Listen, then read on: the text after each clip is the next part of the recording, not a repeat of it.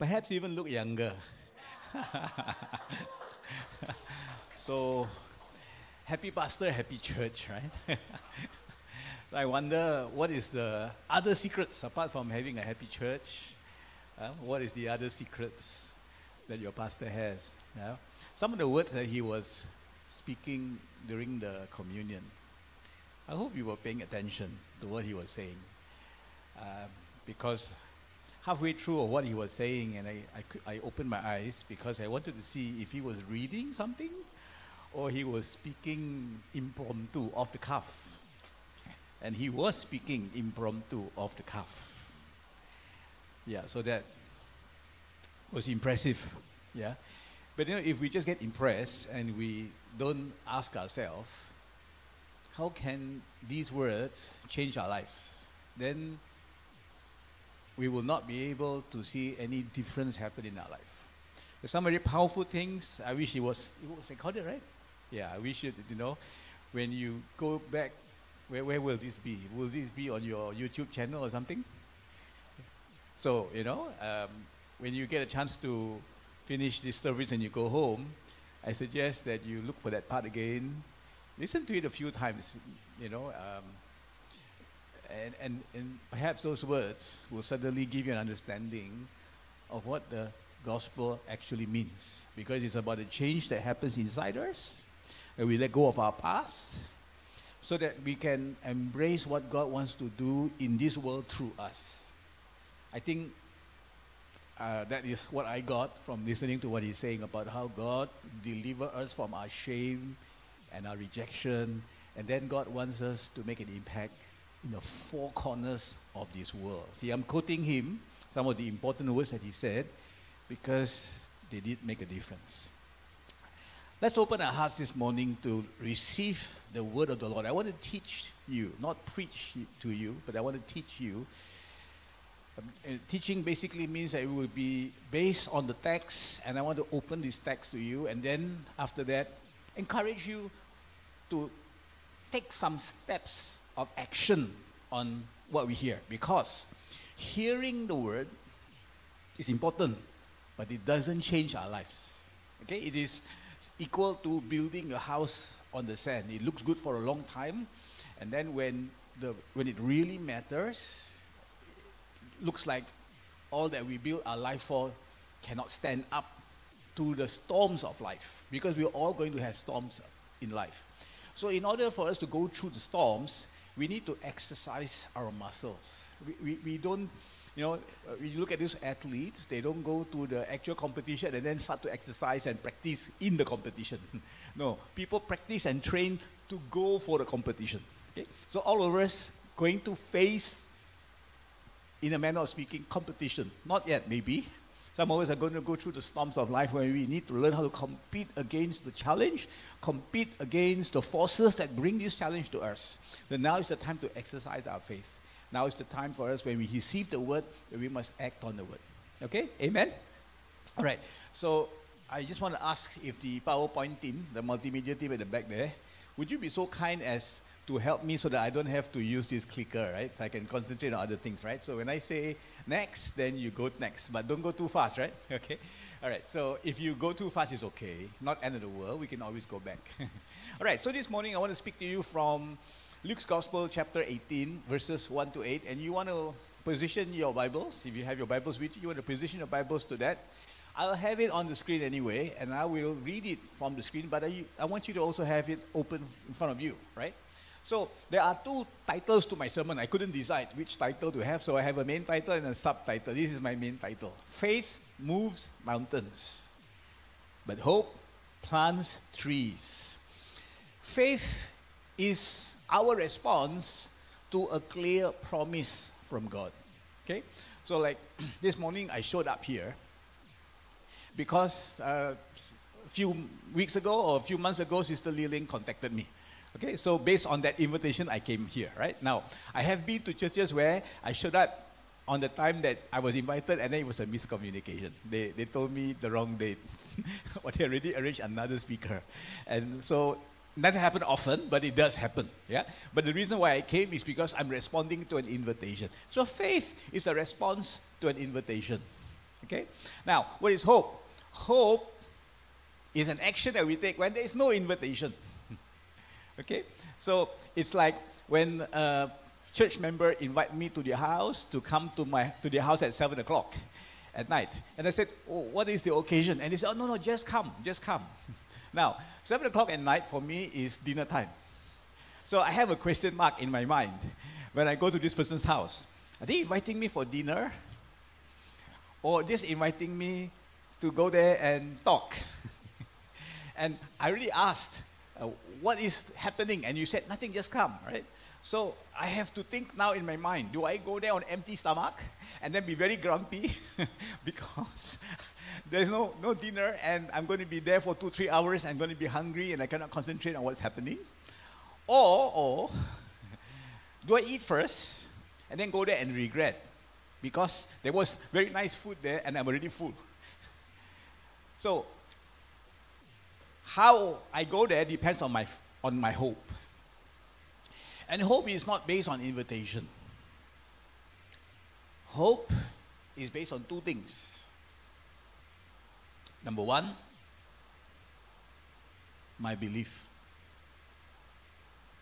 Okay, now, if there is a promise, then it's no longer based on my belief. It's based on what do I think about that person. When that person said, you please come here and speak on this day. Do I believe those person's words? If I do, then it's not about me, it's about my belief in that person. But hope is when there's no invitation, there's no promise. So when there's no invitation and there's no promise, then why should you believe? Because that's what's in your heart. So hope, firstly, comes from in your heart, from who you are, from how you have been developed all these years. That's number one. Number two, hope depends also on the character of the person involved, the other side of the coin. Now, there's two difference. There's a difference here between depending on a person's promise and depending on the person's character that didn't come with a promise. So we can have faith in the promises of God. But when there's no promise, do you still have hope? Faith moves mountains. So when you have faith, then you then you exercise your faith. There would be an outcome. The Bible tells us that if you have faith, as, even as as, as the size of a mustard seed, it can still move mountains. Of course, we know that we're not going to move mountains, right? Hmm. We're not going to go to Jelebu and move the Jelebu hills, right? no, we're not going to do that. This is a, a figure of speech. It's difficult to move mountains, yes. But what's the point if you move a mountain will your problem be solved? No. There are quote unquote mountains in your life that need to be moved. Without moving the real physical mountain. Doesn't, doesn't those physical mountains being moved doesn't change your circumstance. But there are situations in your life which appear to be like mountains. And those, when they are removed, make a difference in your life. You understand what I'm saying? Amen? That's, that's faith. But then there's hope. When nobody asks you, nobody promised you, nobody opened any door for you, you still want to plant a tree. And this is the this is the marvelous thing about planting a tree. Sometimes when we sow a seed and plant a tree, we do know because we can make the calculation that when this tree comes to fruition, when this tree matures, you will not be alive anymore. Then why plant the tree? So you can see I have a little bit of bias in the way that I'm framing it. Yes, anyone can have faith, but it takes a special kind of person to have hope. Because hope is not motivated by self interest. Because we do recognize sometimes when you plant the tree, it will not provide a shade for you.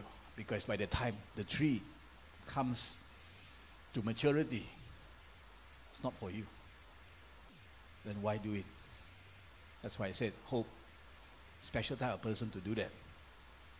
So there are these four scenarios I'm going to talk to you as we go along.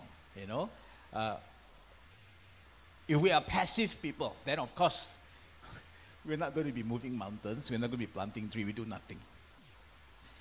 And I'm not talking to passive people this morning. I hope, and I trust. Now, then we can have pessimistic people. And I want to tell you up front what I'm going to say to you later, so that when I say it to you later, it'll be the second time. Nobody is born pessimistic. We learn to be pessimistic. Likewise, number three, nobody is born to be optimistic. We learn to be optimistic. Okay? But I want you to know also that Jesus' teaching sounds full of hope and faith, but it's not so that it be, bring us to a place of optimism. That is just positive thinking. You don't need to hear the truth to be a positive person because there's so many other things that can be taught to you to make you very positive. But Jesus, when we hear the truth and we act on the truth, it's called dynamic faith, dynamism. Why do we need dynamism? Because as much as we have the Holy Spirit, and the Holy Spirit is the Spirit of truth, you and I do not know all that is ahead of us. And that's why when you're dynamic, you can adapt, you can be flexible. Let's go to the next slide. Thank you. So, my subtitle, my main title is Faith Moves Mountains, Hope Plants Trees. But my subtitle, because I couldn't, I couldn't decide which one I want to go with, so I doesn't have both. Okay? And this is what I would call as a self-talk. All of us have self-talk. Okay? Uh, obviously, we don't talk loudly when we're talking to ourselves, right? Because then people will wonder if you're mentally okay. But we all have self talk. There is an inner voice, and it's not necessarily the voice of the Holy Spirit. There's always an inner voice in us. And I want to share with you what I think was the inner voice of this woman in the parable that Jesus taught in Luke's Gospel, chapter 18. This is the parable. In this parable, there was a widow. And I think inside her heart, there was this, there were these words. If not today, then tomorrow. Because my life doesn't end today, then I can try again tomorrow. Okay? So let's move on to the third slide. By the way, I have 12 slides. So I am already now like 25% of the way through the slides. I don't know whether it's 25% of the way through the time. all right. It all depends on you. Eh? If you if you look very active and responsive, I go faster. You look very slow and not really paying attention, I may even go slower. so please be very enthusiastic, okay?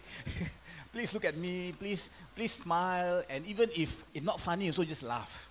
Then, then somehow I go faster. You see, like just now, it's not funny, also you laugh, so I just went faster already, right? Okay. So I'm very tempted to ask you to stand while I read this, but I won't, okay? Because I'm not going to read it straight. I'm also going to stop and give some observation. So, Luke's Gospel, chapter 18, verses 1 to 8, but I'm going to only read first six verses, and then I want to ex- explain a little bit, and then we will go on to the last two verses and conclude there. so, in verse 1, Luke writing, right? This is Luke writing. And so if you're having your Bible, verse 1 is not in red ink because it's Luke writing. Or the, the, the author of the Gospel of Luke, he's writing. And he kind of spoiled the parable for us. You know, you know when they say spoiler? Before you watch the movie, people tell you the ending. so this is what Luke's Gospel chapter 18 verse 1 is all about. this is a spoiler. He, he's telling us, if you don't want to read the whole parable, I tell you what it means. Or there's some of you so blur, you read 10 times also, you still don't understand what the parable is about. I tell you what it means so you don't get confused. You know before you read. So he's saying to you, you see, this parable is telling you two things. You should pray and not give up. There are people who don't pray and give up. I hope that's not you. There are people who pray and give up. I also hope that's not you because that's equally useless as the first one. You know? If you pray and give up, it's useless. Why do I say that? Because Jesus is saying, pray and don't give up. That means both are important. If you have one and with not the other, just doesn't work. Number three, you could have people. This is, to me, in my mind, is impossible, ah, but it can happen. It can happen. This is where I'm saying to you, that's why Jesus didn't just teach positive thinking. Because in positive thinking, you don't have to pray, but you don't give up. So there are some people who have been taught, don't worry about praying. All those are for people who are Christian people. We don't have to do that. We only need to have positive thinking, then we don't give up. The sad thing is, the sad thing is, actually this is better than the first two. What is the first two? Don't pray, don't give up. This is totally useless. Lah. Okay? We are not useless people. Number two, you pray and then you give up. This is confusing people. Then why did you pray in the first place if you want to give up? Okay? But this is also equally useless. This is what I call so far and not far enough. Almost. These are the almost people. You already pray already, but then why you give up? It would be better if, number three, you never prayed, but you never gave up. In life, those people will go further than those who pray and give up. But this is not Jesus' teaching. Jesus' teaching is the fourth one. Hey, you pray and you don't give up. The key word is the word and. Actually, right there is the whole sermon. I could stop there and finish already. We can just go home now. but since the, your church is so generous and you give me, how, how long you give me? Oh, okay. I think your church didn't quite understand, you know. Pastor, Pastor Kwan didn't quite understand my, my purpose of asking this question. Most of the time, people, when I ask them, how much time? They will very politely say, up to you. and then I will use my anointing to know that means 45 minutes. now, what your pastor said is 45 minutes, then I might use my anointing wrongly to say, I think what he means is up to you. no, no, no. I think his 45 minute means 45 minutes. Where's the timer? Normally, in most churches got timer. Ma, where got no timer here? Huh? No, no, no. This, that's a clock. That's not a timer. In, in other churches, there's a timer which is counting down, you know. So when I'm looking at the back, I'm not looking at the, the, the multimedia guy. I'm, I'm fighting with the time. And then there'll be a time there whereby it's at minus five. My God. this means I really. Okay, by the way, uh, I, I spent two minutes talking all these things, must give me back. Huh? you give me back the two minutes because it's not part of the sermon, okay? Uh, please time the, the clock there. Actually, sorry, uh, Pastor, Pastor Kwan, I, I said so bad, uh, I can't see the clock. Uh. So if I preach too long, uh, please don't be upset. I think next time I come, right, you're going to have me a timer, surely. With big timer there, come down. okay. So what's my point? Verse 2. Now Jesus shares this parable. But remember, what is the conclusion? You pray and don't give up. The key word and. Okay. So it's just like, you know, your wife told you before you got married, huh? the, time, the time is your wife to be, like she said to you, you must marry me and take care of me. You only heard the first part. you think it's going to be a happy marriage? No. You see, the word and can be very important. You just marry her, but you didn't take care of her. so, you must marry me and take care of me. You must pray and not give up. So, Jesus said, in a certain town, there was a judge who neither feared God nor cared what people thought. Fearless. Careless, he don't care. I'm not, that's not the correct word for for don't care. Right? It doesn't mean careless, he don't care. Careless means something else. That means uh, this person was indifferent, fearless, indifferent. He didn't fear God, he didn't fear man. Wow. sound like a self-made man. And then there was a widow in that town who kept coming to the judge with her case. She had a plea. She said, Please give me this justice against the person who has disadvantaged me. All right? What is a judge there for? A judge is there to provide justice. Now, for some time, this judge refused to do his job. Now, you know I'm not really reading, right? I am expanding the, the, the, scripture here, but I'm not going against the meaning of the scripture, right? But he just refused to do what he was supposed to do. He just refused her. And finally, he said to himself, even though I don't fear God, I don't really care what people think, let's go to the next slide. Slide number four now. Yet, because this widow, she keeps coming back. She's persistent. She doesn't give up. She came a few times. Okay? Now, I hope you got this. I'm going to stop here for a minute. The judge is a powerful man. Actually, the Bible doesn't tell us it's a man. But I think it is a fair assumption. In those days, the judge would have been a man. But the widow is very clear. The word widow, you shouldn't ask me, Pastor, this one is male or female? I would say, go back to school, learn English. Widow, not window, not widower, widow. Widow means woman who has lost her husband. So, the judge, presumably, fair assumption, male. The person who kept coming to her, a woman, who's now a widow. And in those societies of those times, the power distance between the judge and the widow would have been great. It's, it's like a nobody trying to see a very powerful man in this land, not to ask for favor, just to ask the guy to do his job.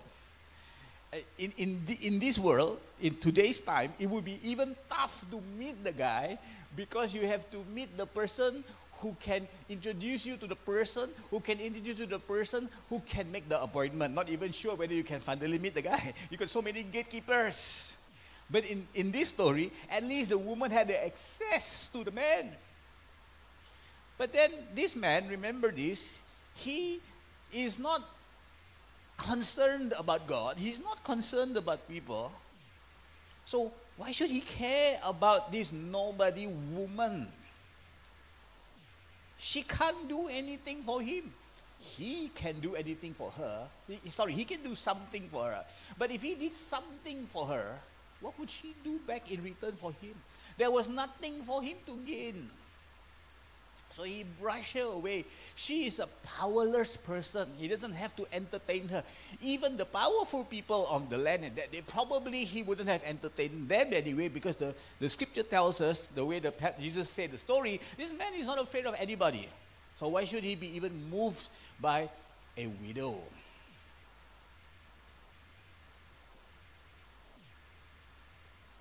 So this widow, if she kept going back, it must be because she had hope.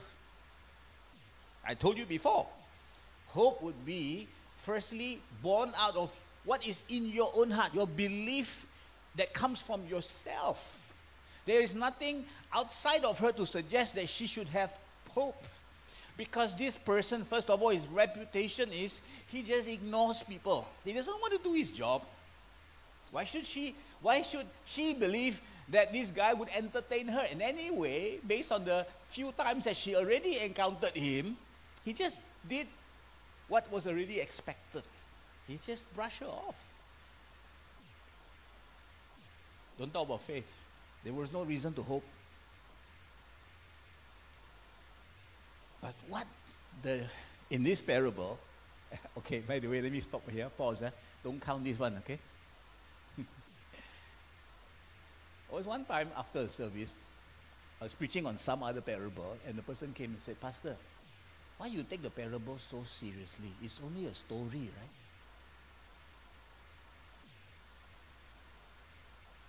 And I really just wanted to ignore the person, but I couldn't tahan, you know. So I said, if I am looking to you like a foolish person for taking a story so seriously, then you must be even more foolish than me to listen to a person who took a story so foolishly and you thought he was foolish. You are foolisher than the foolish me. and you say, Pastor, why, why, why are you so angry?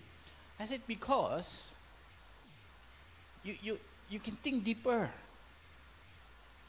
Jesus used a parable to bring forth truth. Because you focus on the method, you don't get the truth. Okay? When, when, when Jesus shared a parable, it's not like somebody making a movie, okay? Movies are fictional, yes, I know that. But when Jesus uses a parable, it's not like he's making a movie and he's a director, want to win some award and make some money. No.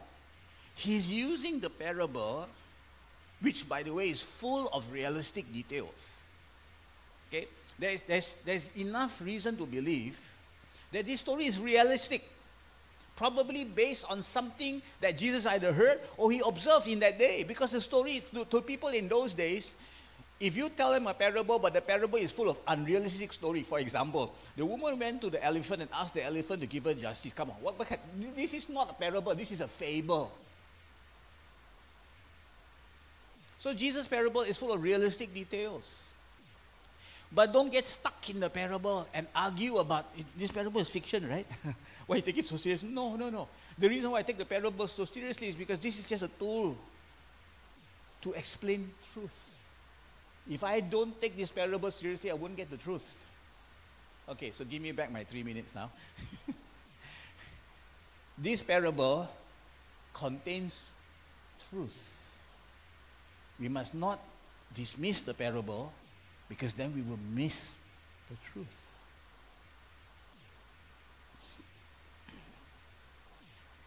The woman did not know that her persistence was wearing down the judge. See? This is what Jesus is saying. When you move in hope, you don't know what you are doing to the other side. If you give up too soon, you give the other side breathing space. You don't know what is going on on the other side. That's the reason why you must pray and not give up. So this, this man is now thinking himself in his mind, hey, but this widow, because she keeps on bothering me. You see, I don't care about God. I don't care about other people. But I do care about my comfort. She's bothering me. There's one person I care about myself. She's bothering me. I better give her what she wants. Whether she deserves it or not, I better give her what she wants because who knows? Maybe finally she will come and attack me. She's so aggressive. See, even this even this, this judge who didn't fear God, fear the widow.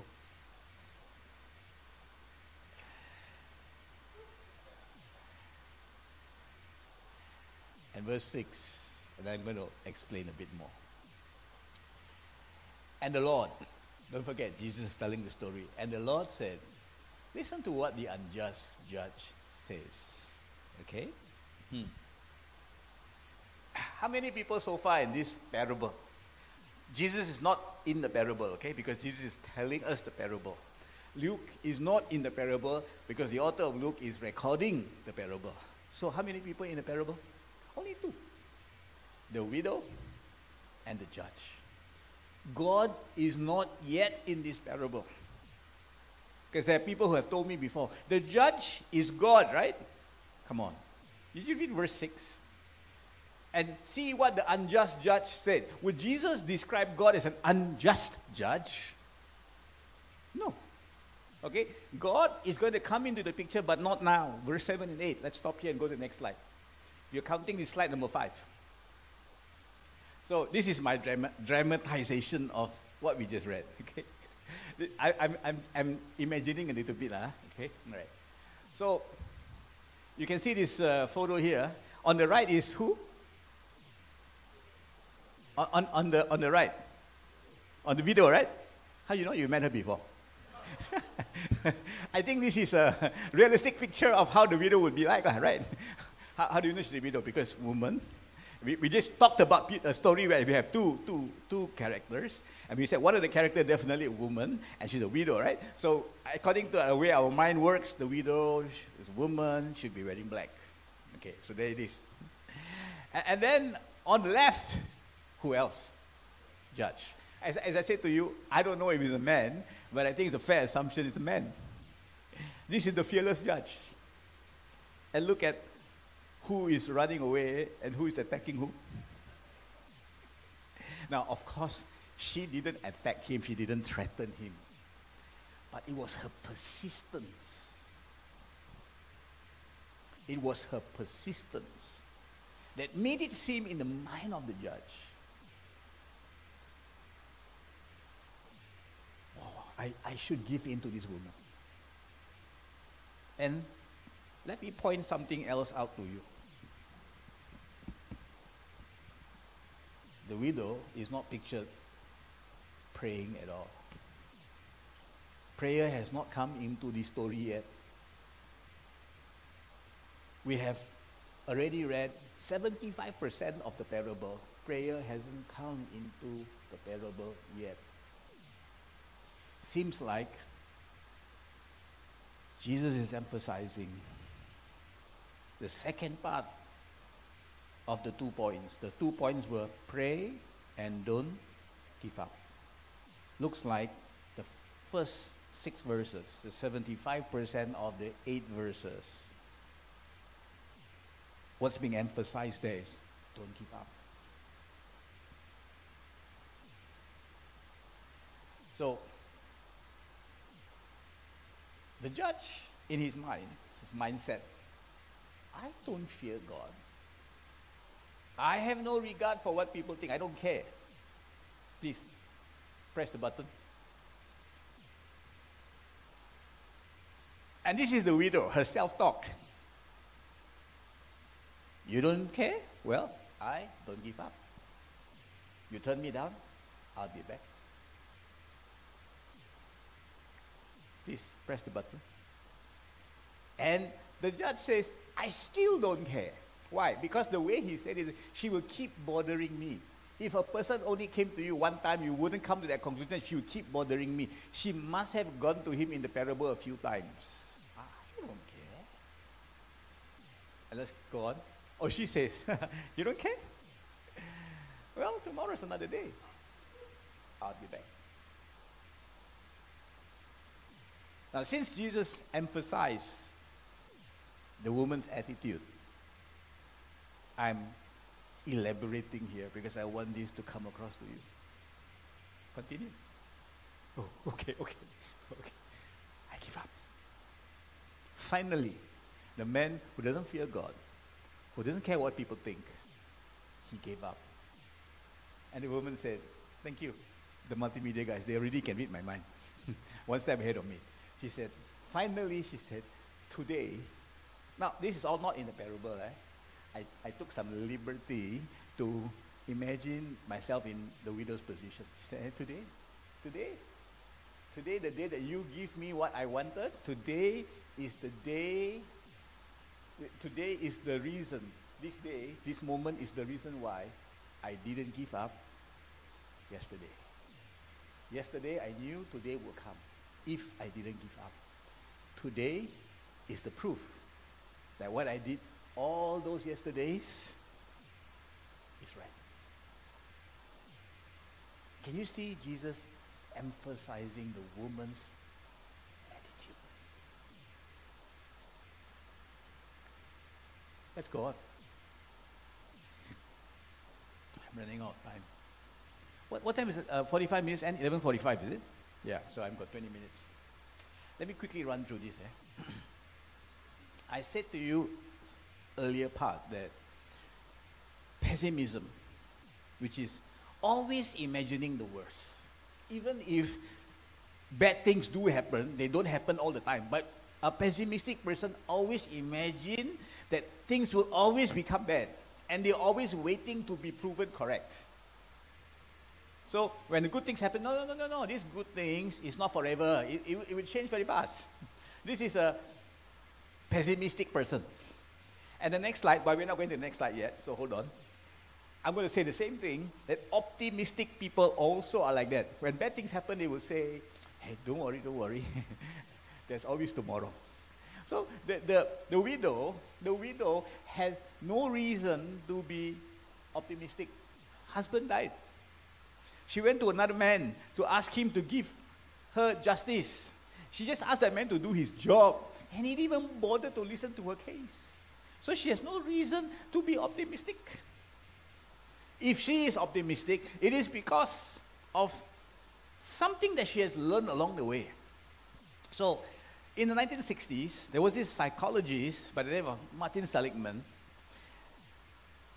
who did this experiment. Okay, I, am just saying what they did. Eh? I'm not telling you this is a good thing, and then please don't. I, I don't say this kind of. How come they do that? How come you tell stories which are very cruel to animals? I'm just telling you what people did in the past to bring a point across. Okay, so this man, Martin Seligman, is a psychologist, and he had this belief, or he had this hypothesis that human beings could be trained or could be conditioned to become pessimistic. They could be trained to become optimistic. So to, to, to do this experiment, he couldn't use human beings because would not be allowed by the law. He did use it on dogs. I, I don't think today they can do it on dogs anymore because uh, this would be considered cruelty to animals. Eh? Okay? So it's not like I'm uh, supporting what he did. I'm just saying what this is what happened in the 1960s.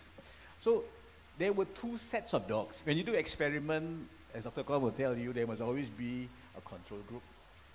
Okay, there is two sets of dogs. So the first set of dogs were put in this um, glass area, and it, it, it, on one side of the glass area was electrified, the one where the dogs are. And then there's a small barrier to the other side which is not electrified. But of course, the dogs don't know that the other side is not electrified. They only know there's a barrier in between this side and the other side. So these dogs that were in the side that the dog, you see the dog there,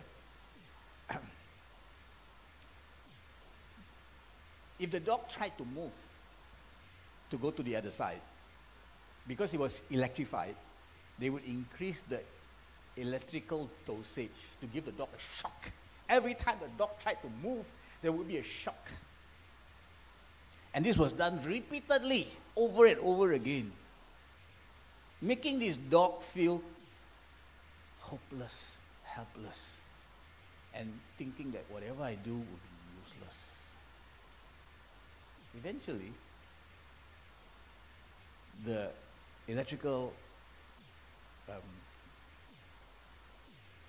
mechanism was switched off. But how were the dogs supposed to know? Because they had already been conditioned by the past that whatever you do is useless. It's not going to change your circumstance. So Seligman said, people who have continuously in life learned hopelessness. Nothing will change. Even when they are given an opportunity, an open door, they won't move because they will say, by the time I reach the door, the door will close. So you see some of the work that the church is doing, especially the work with the refugees, is trying to reverse their mindset. That there is some intervention, that can change your life. Not everything is hopeless, useless, and up to you alone. It's trying to change mindset. Seligman said, and people who have learned helplessness and they become totally pessimistic, and there are some people around us like that, right? They will say, this is supposed to happen to me because this is the cross I'm supposed to bear. You know, last time there was Job, now it's me. It's my turn. Okay, I have to accept it. And this storm, like when we go through COVID, right? This storm will never end. We're all going to die. Forever will happen, no matter what I've done. You know, there's people come to me for counseling. I don't know why they come to me for counseling when for two hours they talk one hour, 59 minutes. And it's not like I got one minute to talk. I have, the one minute I had was never one continuous minute. I only have 10 seconds. The moment I say something after 10 seconds, say, but, but, but, then I stopped. Okay, okay, continue. they will continue. And then after another half an hour, I said, okay, I listened to you enough. Now let me continue what I said about 29 minutes ago. But um, I already done that. I know that. Cut off already. Oh, so I was like, actually, what you come here for? If you want to talk. because they already made up their mind. They already know the conclusion. They just want me to agree. Yes, you are very unique. You are hopeless. See, Pastor, I told you I'm hopeless one. yes, you are hopeless. They just wanted that conclusion. And then, you know, Pastor, my car now gone into workshop, right? This is the reason why I need to commit suicide. Hello, it's only your car gone into your car gone into the uh, into the workshop. You're not a Grab driver. You can still take Grab. There's still other things you can do. Why must commit? No, no, because this is the beginning of the end. Why would you frame it like that? Because they must have gone through life where every little thing that they did somebody, something happened that knocked them down. Okay, next slide. I think it's slide number six or seven now. So I told you there was a control group in this experiment. Same type of dog breed put in another environment, whereby this time, this time, also electrified. If you didn't move, you would get a jolt. The first one, every time you try to escape that part, there will be a jolt to say stop. This one, if you don't move, there will be a jolt. So the, the barrier was still the same. The dogs, after a while, learned that if they didn't want to be electrocuted, they didn't want this electric shock, they need to keep on moving. This is what we try to do in preaching every Sunday. We're trying to tell you if you stop moving, nobody can help you already. If you stop believing and you stop acting, nothing else can be done for you. We can all lay hands on you, only change your hairstyle. That's the first time you laugh in 15 minutes. Why my sermon going very slow? so, Seligman said, for these people, like these dogs, after a while, they learn that they can jump over already. They have to jump over. Because if they don't jump over, they're going to be receiving that electric shock. They learn then that the bad things that happen in my life, they're not because I'm bad. That is the message of the book of Job. Not all bad things happen because I make mistakes. In fact, I can use this bad thing to make me stronger, better, more suitable for bigger opportunities. And you know what? Nothing in life is permanent. Bad times don't last forever. There's a book I read when I was, okay, I don't want to say my age now because then you go look at the book and say what year the book was written, then you can guess my age. Huh? Okay. but as some of you might know, I did my secondary schooling in St. Paul's Seremban. So I read this book when I was Form 2, a young Christian believer. Title of the book, I don't need to go into the book, right? but if you can get the book, it'll be good for you. The title of the book itself speaks volumes. Tough times never last, but tough people do. You will outlast your tough times. I think that book is about maybe 100 over pages. I think it's a good exposition on the widow's attitude in Luke's Gospel, chapter 18. Even these bad times, it will never last. And so, every bad time or every cloud has a silver lining. Within this bad time is the seeds for my breakthrough.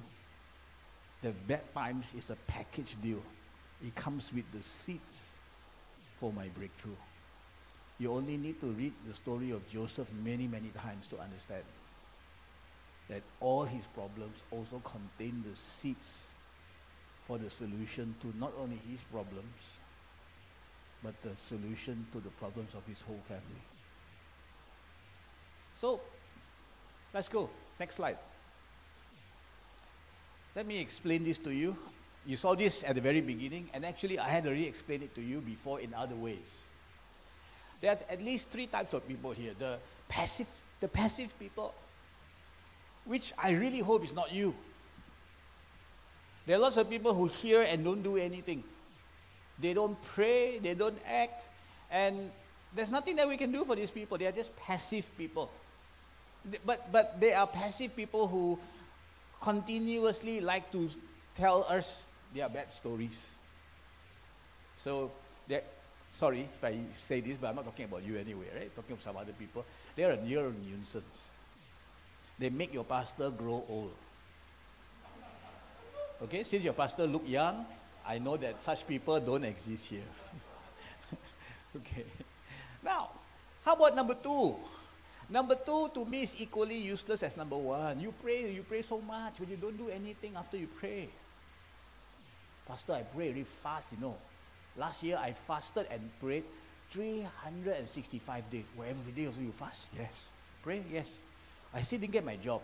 How many jobs you apply for? I didn't apply for anything, but I prayed very hard. hmm. Did you read Luke 18 verse 1 before? Uh, yeah, yeah.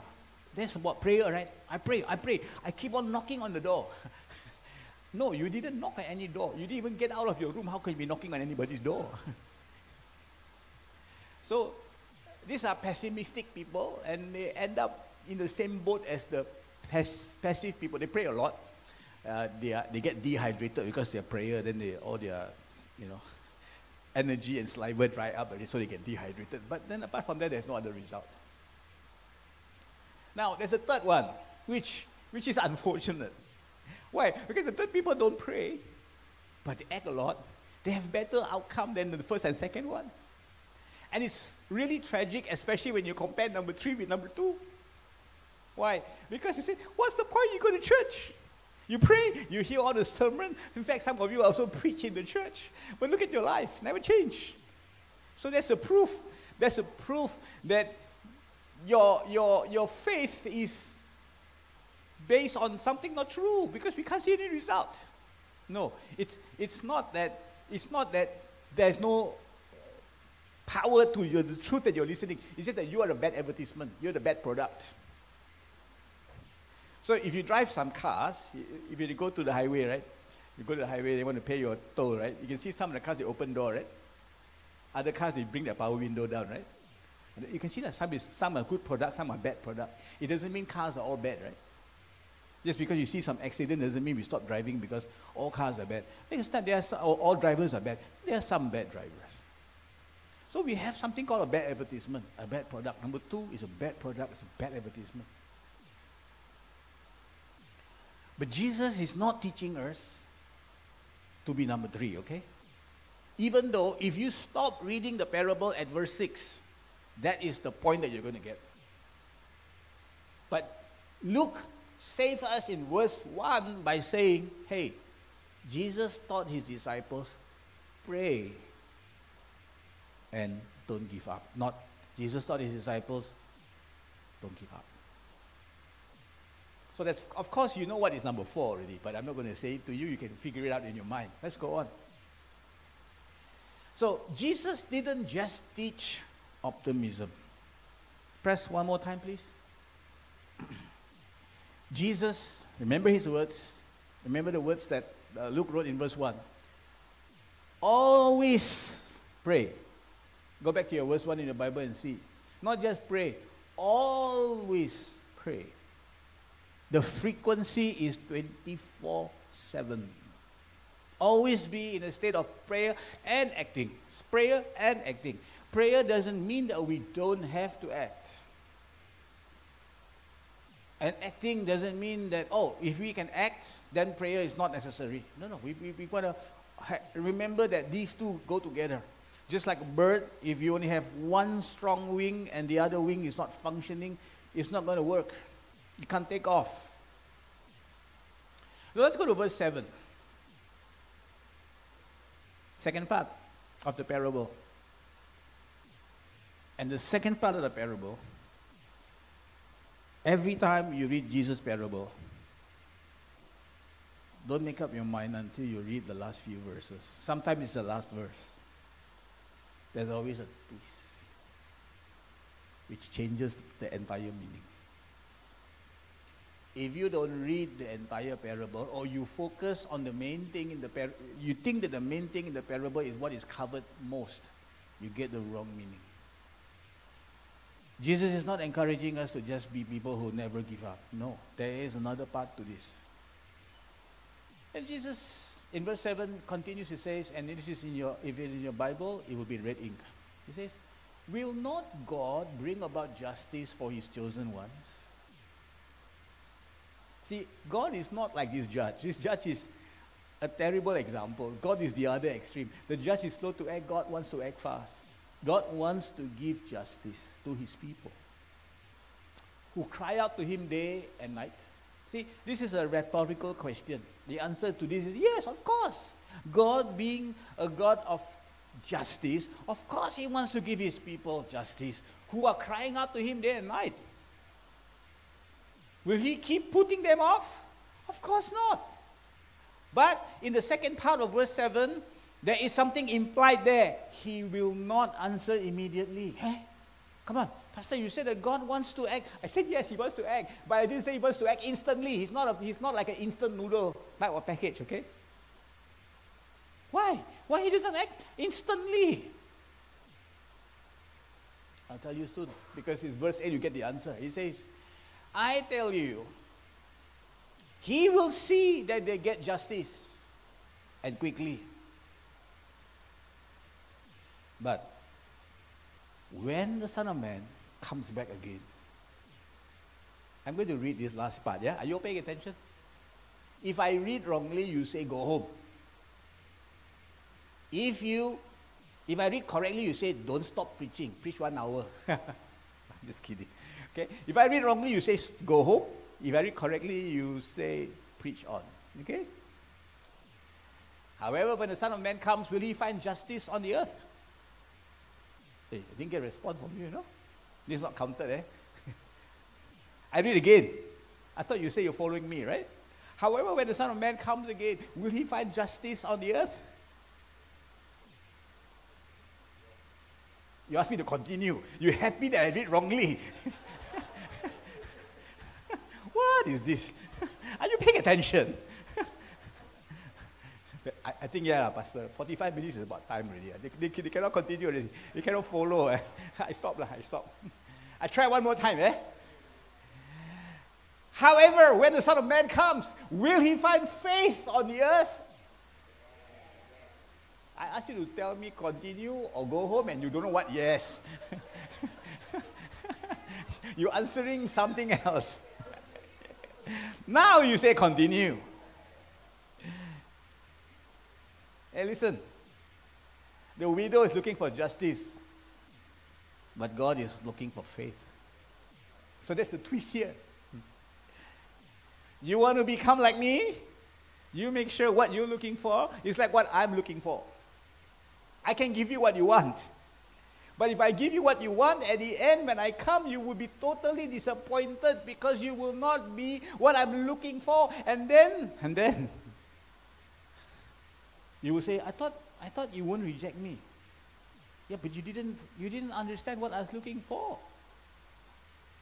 I mean, it's like, it's like this couple, eh? The, the, the, the, the girl has to go and study overseas for 10 years. The guy stays back in Malaysia. After 10 years, he came back, and then the boy totally changed with different values. Then the, the, the girl said, I don't want to marry you anymore. And then she said, How come you reject me? You Christian, how can you reject me? Your God doesn't reject me, you reject me.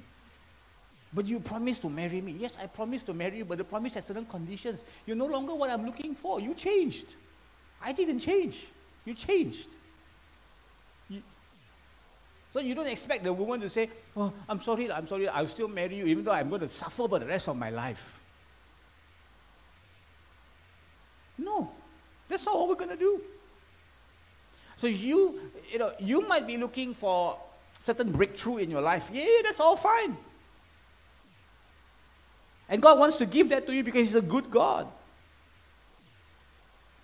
See, but the sad thing is there are a lot of Christians that want to please God. They want to be what that God wants them to be. And then you must understand the truth. The truth is, God is not really concerned about how much breakthrough you can receive from Him. Why should He be concerned about it? Because they're coming from Him anyway. God is looking for faith. And to exercise faith. And I suppose with this also implies hope. Then we must give you time. If the widow got her request granted the very first time, there's no parable. It has to be granted after a few times. There has to be delay. Because only through delay we can have faith. Next slide. Next slide. Look at the white side, okay? Don't look at the black side. Prayer doesn't change God. Because God wants to give you all the good things. Prayer is not about persuading God to change his mind. You, know, God, you seem to be reluctant, right? No, no. You got the wrong person. That's the judge. I'm not the judge. I'm not the unjust judge. I am the God that wants to give you all the good things. So don't think that your prayer is about changing God's mind. Prayer also, okay, prayer definitely won't change God. Prayer may or may not change your circumstances. This part I'm not sure. It can, maybe it won't. I mean, for example, you're not happy with the kids you have. Then you pray, God, give me another set of kids. I cannot imagine in my mind God answering this prayer. God might change your kid's heart. But if he changed your kid's heart very fast, then he can't change you. Because maybe part, the other part of the equation is you also need to change. So we cannot always say, God, I already ordered the food, the food has already come. I don't like what I ordered. Especially after I already eaten two mouthfuls. I pray now the food change. I, I hope you don't believe in such kind of, I only can say that's mumbo jumbo. So God prayer can change circumstances. Maybe it will change. You know, there was a man in the Bible, in the Old Testament, called Daniel. And he was a man who prayed every day three times, constantly. No day he missed his prayer. But you know, he never, he, he, was a, he was a person who came from Judah went into captivity, lived in Babylon. And there is no record of him ever going back to Jerusalem. He was a man who prayed. He prayed that his people would go back to Jerusalem. And his prayer did help his people go back to Jerusalem, but he himself never experienced it. Prayer can change circumstances, but not all the time. The third part, let's go on. This one I'm 100% sure. the real idea of prayer is to change us. And that's why there must be delay prayer imparts something intangible. Last slide. Actually, second last slide. Okay? Yeah. That's what I mean by dynamism. You pray recognizing that prayer is meant to change you. Prayer is not about changing what you don't like around you. Prayer is about changing you, changing us, so that we become aligned with what God wants. Because honestly, God is a good God. He will give you good things. Even if you do not pray, He will give it to you. So let's end with this. Last slide. What I've speak, spoken to you today because I couldn't make up my mind what my title was. I have two titles. Number one, faith moves mountains, hope plants trees. Faith is about responding to God's promise and God's invitation. But hope is about doing something really long term that will outlast you, even when there is no clear instruction from God. But because you believe in the character of, the, of, of God, that God is a God who definitely wants to give you good things. He might delay it, but if he delays it, it's not because he wants to harm you. He, will, he might delay it because he wants you to grow. So you learn how to move in hope as well. There's some people who say, I, I move in the voice of God or in the, in the prophetic. That's good. But do remember that God doesn't always speak to us. And, and if you try to squeeze a voice, you may not be a voice of God. But there's always hope. There's always faith. And this comes by us reflecting on the truth of God's word. My second point was about if not today, then it's tomorrow. Always remember about tomorrow. Let not all your decisions in life be only about today. So there's this reflection in the left side there, right? If today, if today you are sitting in the shade, you know, if today you have some good things in life, I hope you have enough sense to remember that not all the good things in your life came about because of what you have sown. we didn't reap all the good things because we have sown so many good things in our life. There are other people who have gone before us, who have sacrificed, who have laid the foundation, and today that's why we can enjoy shade. If today there's a tree of protection over your life, remember that it didn't grow yesterday, it didn't grow the day before. It has been there because somebody long time ago invested in a tree, not even knowing who is going to benefit. Remember the faith of the person and the hope of the person who planted the tree. They planted a tree by using a seed, knowing that it will become a tree someday, not in their time, but in a time in the future. I think ultimately that's what prayer is all about. It's about encouraging us, empowering us, releasing us to plant a tree. I think I'm like negative 20 minutes already. now, I don't know how many minutes I've got. Let me pray. Let's stand. God's presence this morning. Father, we want to thank you for your word. We want to ask that we not only be hearers of your word. Yeah, I can, I can invite the worship team to come up if you want to. Please come up. and uh,